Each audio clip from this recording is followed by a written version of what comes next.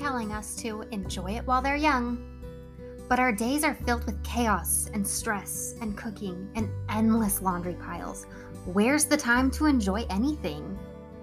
Yeah, that's what I always thought too. There's so much I have to do. When do I find time for peace and joy and happiness when I barely have time to sleep? Mama, it's time for a shift. You can be a happy mom. Yeah, it's possible. If I can, you can. Trust me. I've been a mess. I've been depressed. I've been overwhelmed. I've been to the bottom of the pits. And I've risen. I've grown. I've bloomed. And it all started when I realized I didn't have to anything.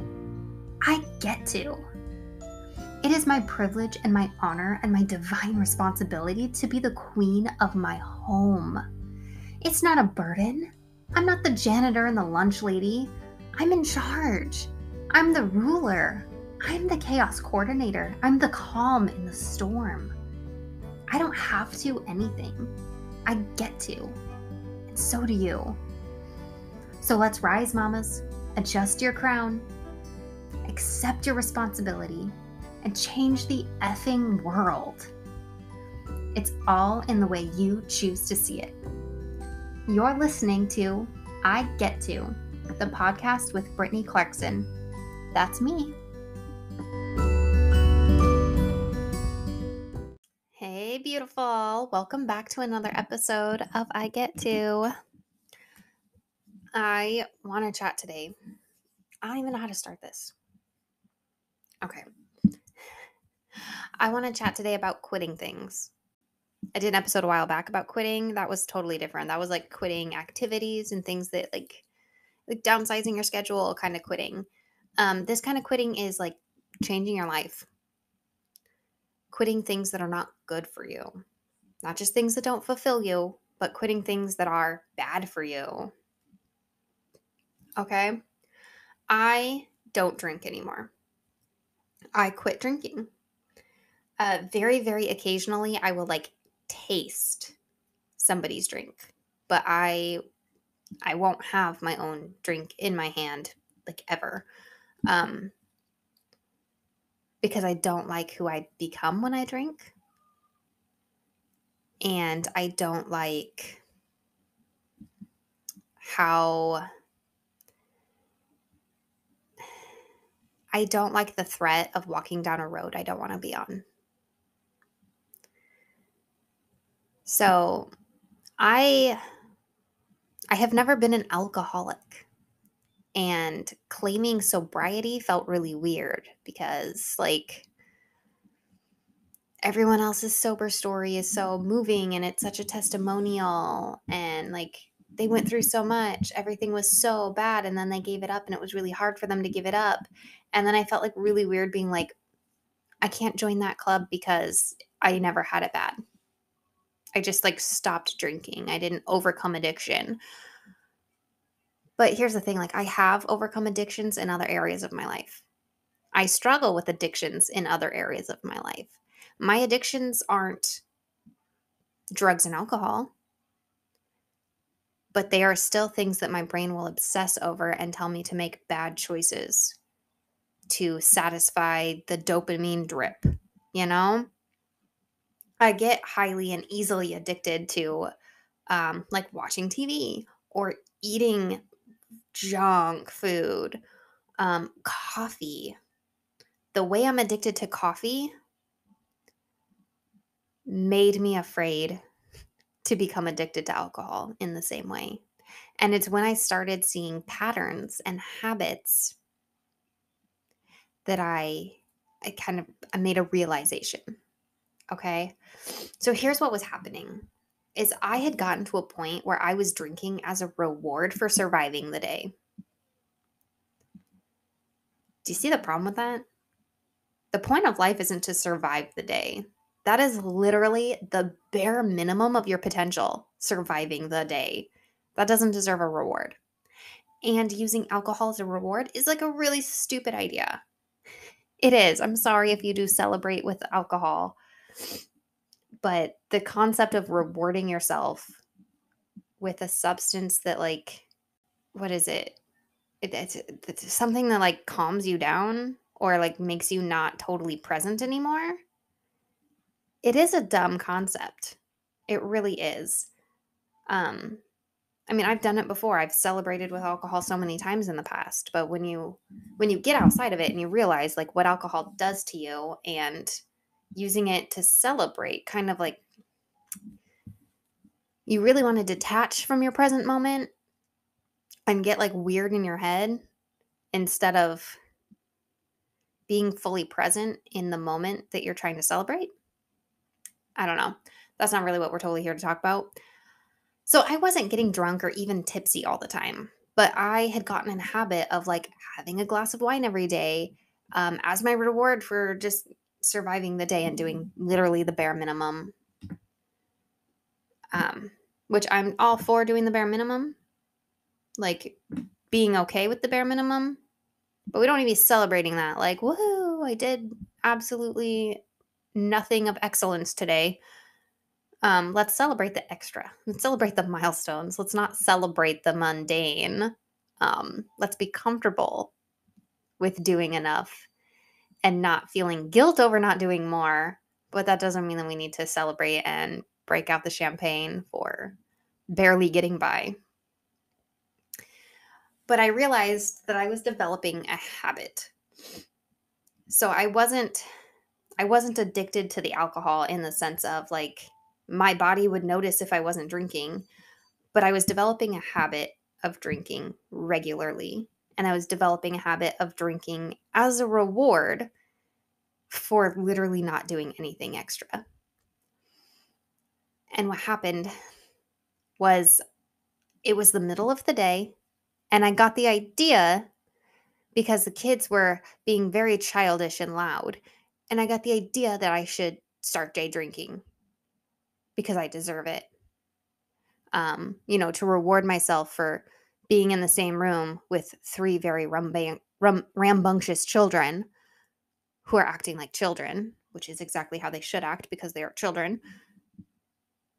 But my, my brain had kind of gotten in these habits of thinking my kids should be calm and quiet all the time. And if they're not, I deserve a reward for tolerating them. Um, and to think that that reward should be alcohol was a bad idea. And it was right then in that moment where I was considering having a hard cider in the middle of the day or a glass of wine in the middle of the day. I don't even remember what my my go-to was at that moment. But it was realizing that I had the idea to day drink while I'm at home with my kids and there's no other adults around to parent them as a reward for literally nothing. That I just saw in front of me two roads. And it was like choosing that drink was choosing between these two roads. You see, I struggle with moderation. Um, like I'm not the type who can eat a single serving of chips and not just go overboard and eat the whole bag. And typically I don't even snack on one thing at a time. Like I do a full snack board. Like I need multiple snacks happening and I need to exceed the serving suggestions and I need to just feel like crap when I'm done. And so that's how I handle food coffee I can't have just one cup of coffee in a day. I actually get headaches from not having coffee. That's like like the only the only addiction I have that's like a physical crutch addiction where like if I don't have it, my body tells me I'm in withdrawal and it's a problem. Um sugar is more of a craving that I just psychologically want to satisfy. Uh binge watching TV is a psychological sort of addiction, not physiological. Um, coffee's the only physiological one. But I struggle with moderation. I struggle with telling myself I can have a little bit. The whole 80 20 rule thing, like, I can't do that because I always give myself extra. Like, I can't. You know what I mean? Yeah. I struggle with moderation. I struggle with saying, I can have a little bit right now and then say no to it next time. It's always I can have a little bit now and say no to it next time. Every single time it comes, I'll have it this time and next time I'll say no. And the next time never comes because I do it again, saying I'll have a little now and none next time. That's how I struggle with moderation. And it was in realizing that I view alcohol the same way. And if I allowed myself to start drinking in the middle of the day, when am I going to tell myself to stop? If I, you know, before I was only drinking socially, or I would only drink when my husband got home. And I was like, but if I open myself up to drink in the middle of the day, not socially, just by myself, when do I draw the line and say, that's a problem? And I could see in my mind a fork in the road of two options for me. It was either I quit drinking and I become fully present in the moment and I take care of what I need to take care of emotionally, mentally, whatever. Or I choose to numb it out and I choose to go down the road that leads to the type of alcohol addiction that I have seen in other family members. I watched multiple family members struggle with alcohol addiction my whole life. And it was like at this moment, I could decide do I want to just quit and show myself that I can quit? Or do I want to go down the road where this possibly becomes my future, where this possibly becomes a problem? Do I want to control my alcohol or do I want to let it possibly control me? And it was like standing there looking at those those two options that I I had to decide right then. Did I want to choose the unfamiliar road that involved me facing my demons?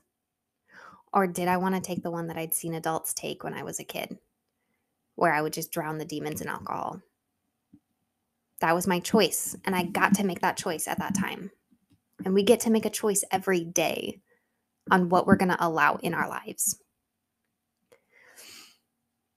What I want you to take away from this story is that you don't have to hit what you think is rock bottom before you give up the destructive behaviors. Your personal rock bottom doesn't have to be as low as you've seen others go. You can literally quit anytime. You're in control of your own life. What other people are going to think and say and judge you on is none of your business. It's completely out of your control and it honestly doesn't even affect your life.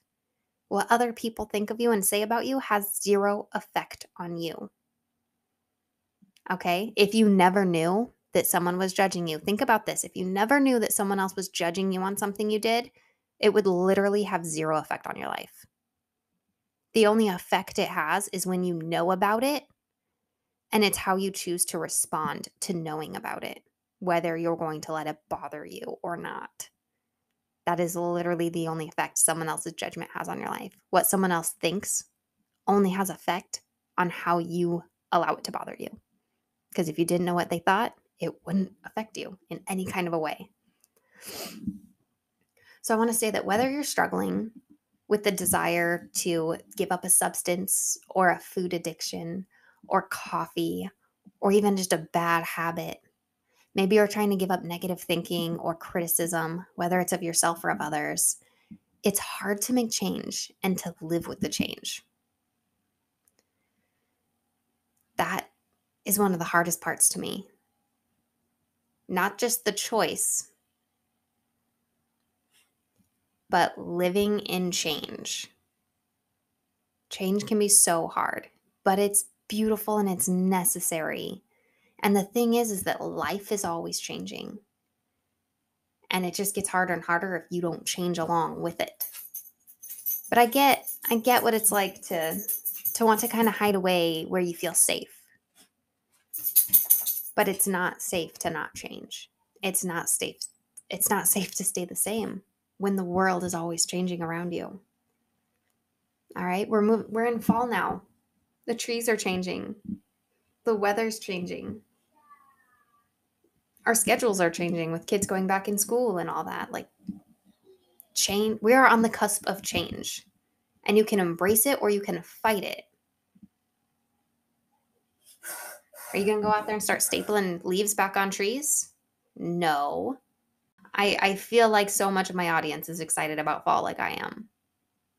But are we going to embrace change personally too? Or just change in the weather? So, whether you're struggling with an addiction or a habit, habits are basically addictions. We're addicted to our habits, is how I see it. And that's the way I've overcome so many bad habits was viewing them as an addiction and giving myself grace and realizing I'm just addicted to that behavior because I'm used to that behavior. And when I try to change that behavior, my body gives me withdrawal signs and it freaks me out. It's moving through that. Keep going because abundant life is on the other side.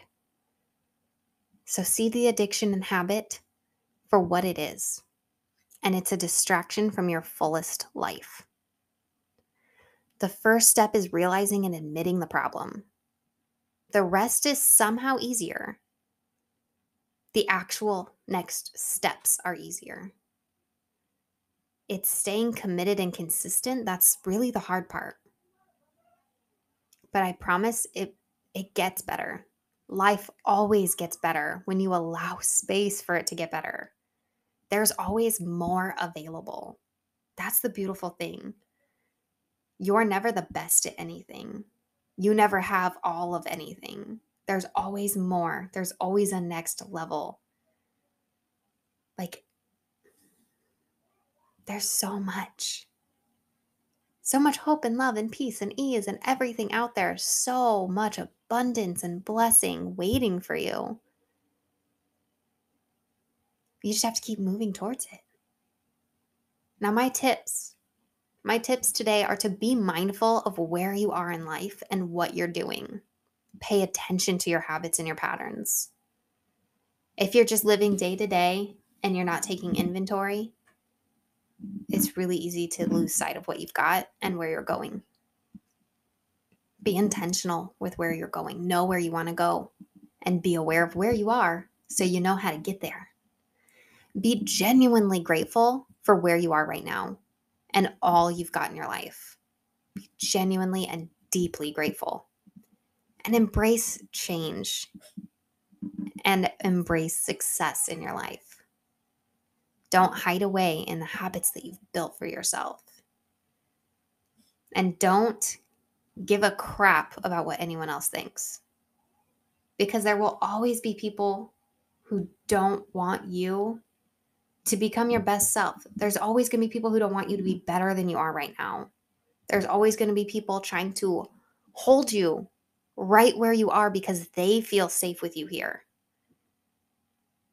Sometimes the person trying to hold you right here where you are and not let you move forward, not let you grow, sometimes that person is you.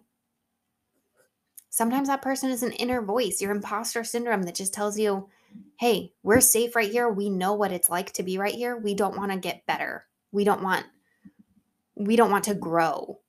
We want to stay like we are right now. But the thing is, life finds a way. Life insists on growth. You cannot stay the same. You have to be growing because life is growing, the universe is constantly expanding. You have to be constantly expanding along with it. Now's the time in the season of change. Do the things you need to do to elevate your life and move to the next level.